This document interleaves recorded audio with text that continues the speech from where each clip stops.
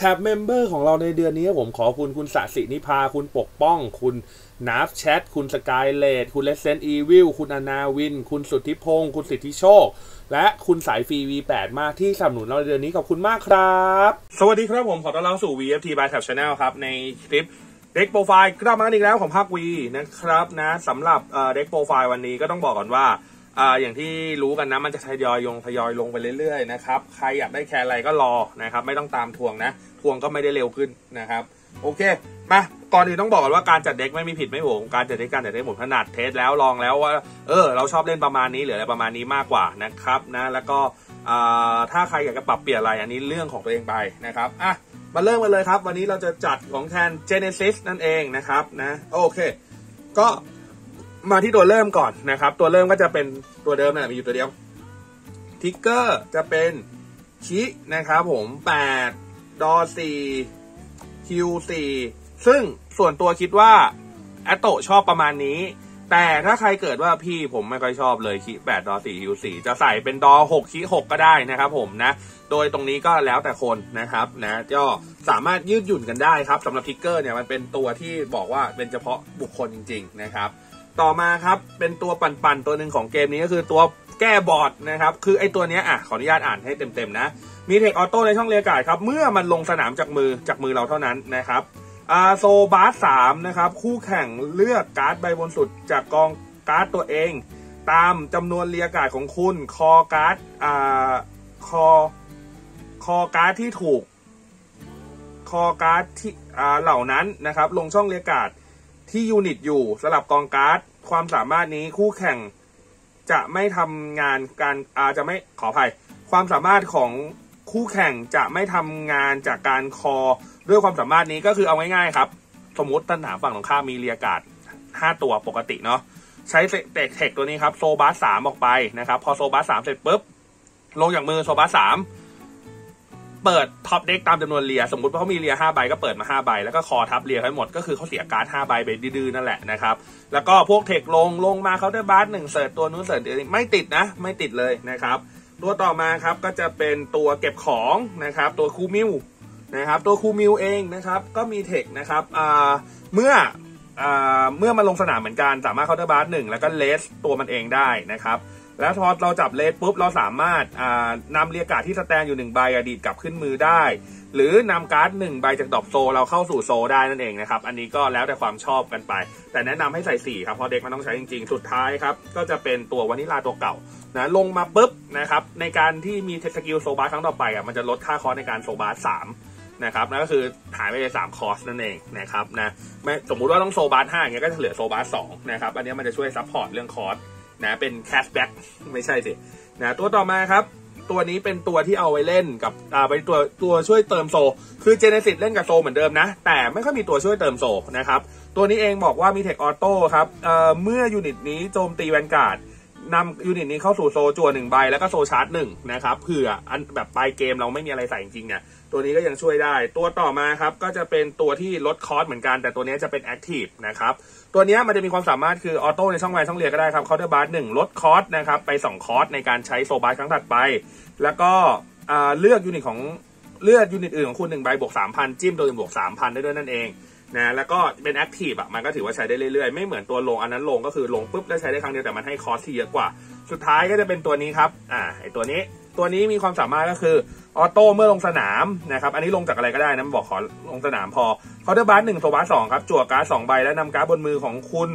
หนึ่งใบเข้าสู่ soul นะครับ พลังจะบวกตาม shield ของการ์ดที่ถูกนำเข้าสู่ soul ด้วยความสามารถนี้จนจบ turn นะครับ เป็นในส่วนของตัวมันเองที่จะบวกพลังนะครับ จริง ๆ หลักๆอะเราต้องการเอาของเข้าสู่ soul แค่นั้นแหละครับนะเพราะว่ามันมีความจำเป็นกับเกรดสามที่เราต้องเอาของเข้าสู่ soul ไปดูที่เกรดสามกันเลยแล้วจะรู้ถึงความจำเป็นของมันนะครับ ตัว VR ของมันนะครับผมนะไอตัวฮิมิโกะมี text active ในช่อง vanguard one per turn อา soul blast ห้าครับนำ critical หรือ draw trigger จากใน soul คุณหนึ่งใบ ไปไว้ใต้กองการ์ดครับ ความสามารถ trigger ของการ์ดที่นำกลับไปไว้ใต้กองการ์ดนะครับ นั้นจะทำงานตามจำนวนครั้งตามจำนวนเกรดของ vanguard คู่แข่งก็คือว่า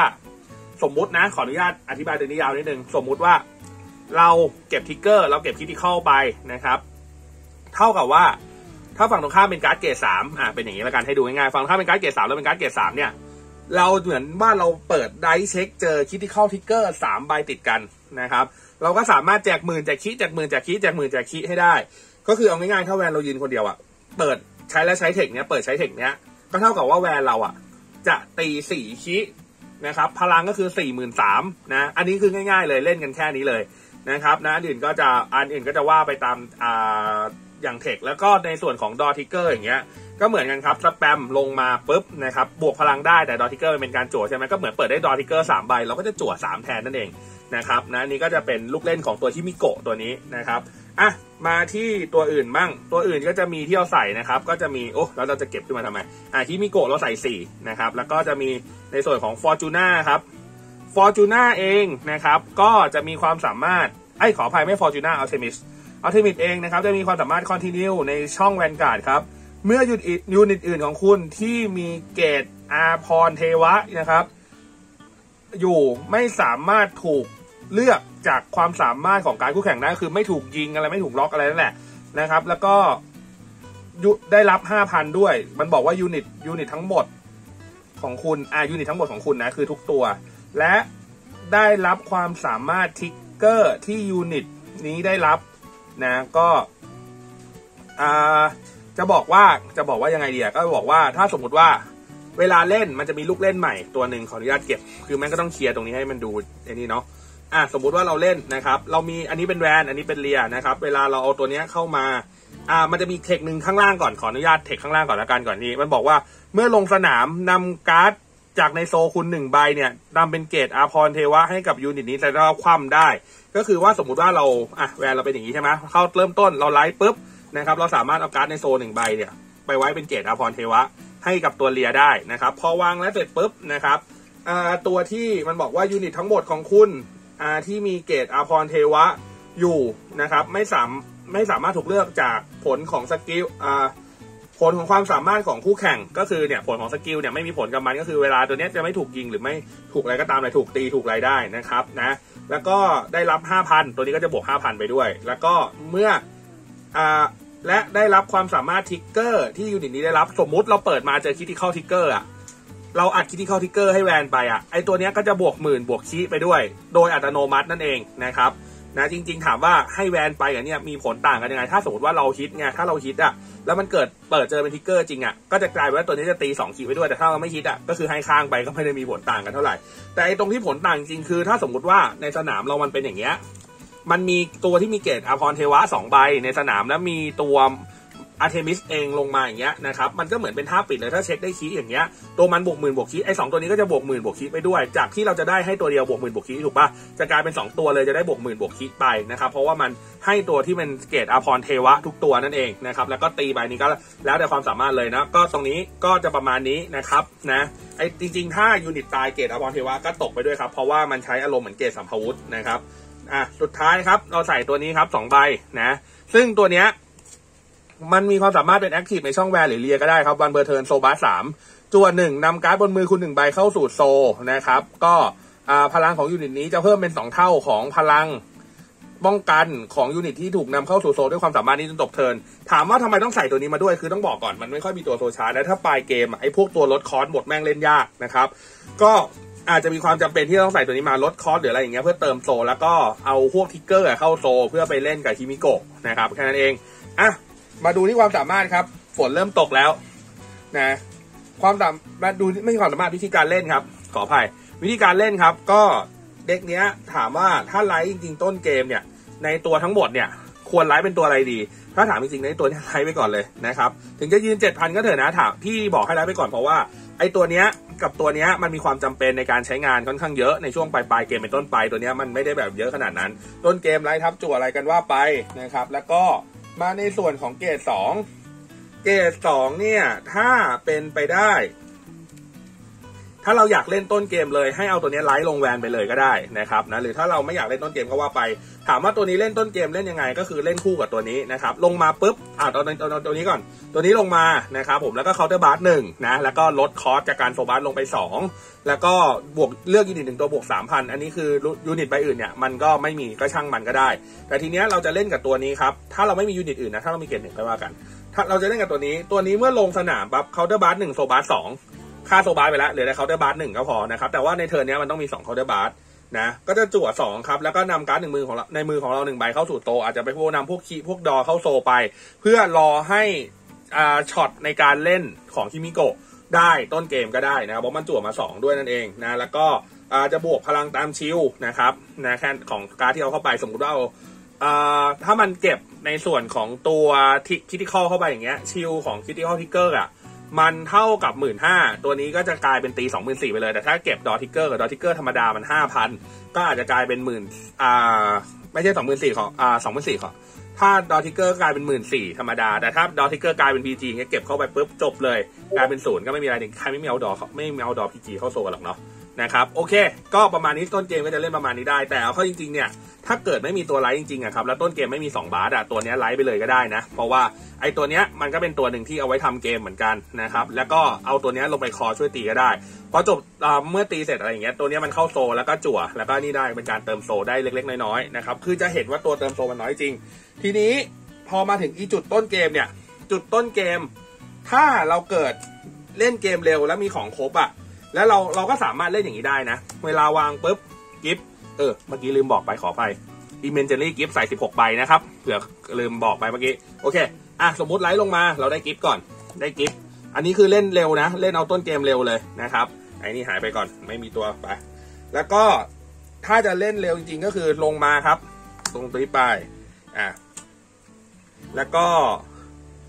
ใน turn นั้น ถ้าเราเกิดมีการกาดไปแล้วด้วยพีไอ้ด้วยนี่ก็ตามนะครับ สามารถทิ้งไปได้เลย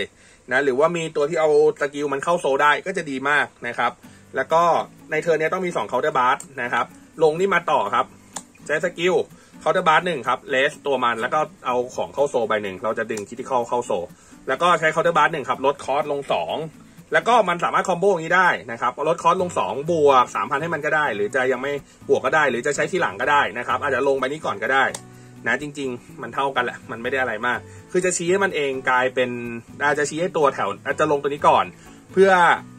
ให้ใช้ stack กลายเป็น soul ห้าอย่างเงี้ยก็ได้แต่ว่าแล้วแต่ละกันตัวพลังคือพลังมันไม่ได้คาบเส้นขนาดนั้นก็เลยไม่ได้อยากพูดเรื่องพลังนะครับอะพอลงพอลงตัวนี้มาปุ๊บใช้ text ไป counter blast หนึ่ง cost ในการ soul blast จะลดลงสองใบ ใช้ตัวนี้ เมื่อลงสนามจากมือไปลดอีกสามกลายเป็นลดห้าใบ ฮิมิโกะ soul blast soul blast ห้าครับ เท่ากับว่าฮิมิโกะไม่ต้อง soul blast ครับ แล้วก็ได้ทิกมา ถ้าสมมุติว่าเราไม่ได้ไปเจอแคนที่เป็นโปรเทคอย่างเงี้ย แล้วเราต้องการจะแบบว่า เฮ้ย มั่นใจในระดับหนึ่งว่าเขาไม่มี PG แล้วกูตีแรงพออะไรอย่างเงี้ยนะครับ หรือเอาตัวนี้มาไว้ตรงอื่นก็ได้นะ อาจจะลงข้างไปเลยก็ได้ หาตัวบูทอะไรให้มันครับ แล้วก็ฟาดไปเลยก็ได้ครับ ฟาดเพียวๆไปเลยก็ได้ คือมันสามารถ มันอารมณ์เหมือนอย่างนี้ คือพอเราใช้เทคไปเสร็จปุ๊บใช่ไหมอารมณ์เหมือนว่าเราเปิดได้คิคอทิกเกอร์สามใบอย่างเงี้ย เราก็ คีพลังแวนคีพลังแวนคีพลังแวนไปอย่างนี้ก็ได้นะครับ พอเป็นอย่างเงี้ยในช่วงต้นเกมอะถ้าเขาไม่มี PG เขาก็กาดกันมือแตกอยู่นะ เพราะว่ามันตีไปทีเดียวอย่างเงี้ยอ่าห้าหมื่นสามนะครับสี่อ่าสี่คีห้าหมื่นสามสี่คีถ้าเกิดฝั่งข้ามกาดไม่ไหวจริงอะ มันโดนตุ๊บเดียวเนี่ย แล้วถ้าเราเปิดเจออีกคีหนึ่งถ้าฝั่งข้ามมีแดมเดียวคือไหลตายเลยนะ ก็สามารถปิดเกมไปได้เลยนะครับ อันนี้กรณีที่จะเล่นเป็นตัวฮิมิโกะนะ โอเค แต่ทีนี้ขออนุญาต จริงๆ ปลายเกมก็เล่นอย่างนี้ได้นะครับ ขออนุญาตถ้าเกิดว่าบนมือเราไม่ขึ้นฮิมิโกะจริง ๆ แต่กลายเป็นว่าขึ้นในส่วนของอาร์เทมิสนะครับอะก็เราก็ยังกิฟให้แวนไปก็ได้นะครับ แล้วก็สุดท้ายก็ลงตัวเลียมาเมื่อเลียออกปุ๊บเราก็ดึงนะครับ ไปทำเป็นไอเกตอภรเทวะนะครับ ถ้ามันมีตัวหนึ่งหรือถ้ามันมี 2 ตัวตั้งแต่ต้นเกมอย่างเงี้ยก็ถือว่าดีนะ นะครับ จริงๆจะมาปิดหลังต้นเกมหรือปลายเกมก็ได้นะครับก็วางตีไปดื้อๆโง่ๆอย่างนี้เลยก็ได้นะครับ ก็เอา van ตีไปก่อนครับ ถ้า van เกิดได้อ่า trigger อัดพลังตัวเองพวกนี้ก็พลังเพิ่ม ถ้าอัด critical ตัวเองพวกนี้ก็ critical เพิ่มนะครับ แต่อันนี้ไปถามมาแล้วนะครับ draw trigger กับ heal trigger มันอัดให้ตัวเองจริงมันเหมือนได้รับผล trigger เหมือนกันก็จริงแต่ว่า draw trigger กับ heal trigger มันเกิดขึ้นกับผู้เล่น มันก็จะไม่ stack ไม่เหมือน critical นะครับโอเค ก็สามารถตีไปตรงนี้ได้นะครับ อันวิธีการเล่นมันก็มีแค่นี้แหละนะ แล้วก็อีกอันนึง อันนี้ก็จะเป็นท่าปั่นๆสำหรับคนที่ชอบความปั่นป่วนในชีวิตนะครับ ขออนุญาตเก็บคืนไปตึ๊บตึ๊บตึ๊บตึ๊บตึ๊บตึ๊บโอเคอะอะในขั้นตอนนี้เราอาจจะมีเกรดสามอะไรอย่างเงี้ยเยอะหน่อยนะครับ นะอ่าไม่ขอไปไม่ใช่เกรดสามอาจจะมีตัวที่ต้องใช้เยอะหน่อย แล้วทีเนี้ยก็จะมาเล่นก็คือจะมาเล่นไอตัวโซบาร์นี่แหละนะครับ ก็วิธีการเล่นครับอาจจะลงอย่างก่อนปุ๊บลงตัวนี้ลดค่าคอไปสามลงตัวนี้ครับ ลงตัวนี้ปุ๊บมันเท่ากับต้องโซบาสสามไอเดียนี้ลดคอสามคือคอศูนย์ฝั่งตรงข้ามเปิดแล้วก็คอ เวลาเขาเต็มสนามเขาโดนเผาการ์ดในกองการ์ดทีละห้าใบถ้าเปิดมาเป็น trigger หมดอะแล้วเขา re ไม่ได้ลองคิดดูว่ามันหนักขนาดไหน และ พอเสร็จปุ๊บ ถ้าเรามีไอตัวนี้ซ้ำอีกอย่างเงี้ยนะครับ เราอาจจะลงคูมิวไปนะครับ แล้วก็ลงอ่า counter blast หนึ่งดีดตัวนี้กลับขึ้นมานะครับ แล้วก็ลงไปใหม่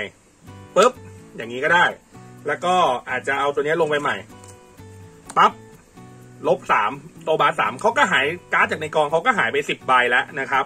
นะหรือ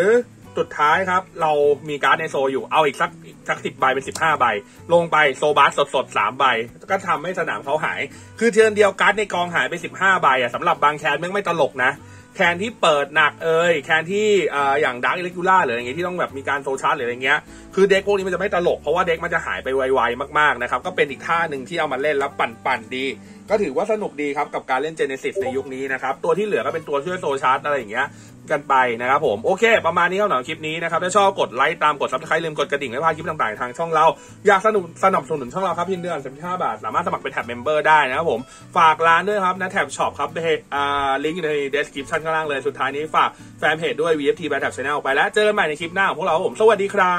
บ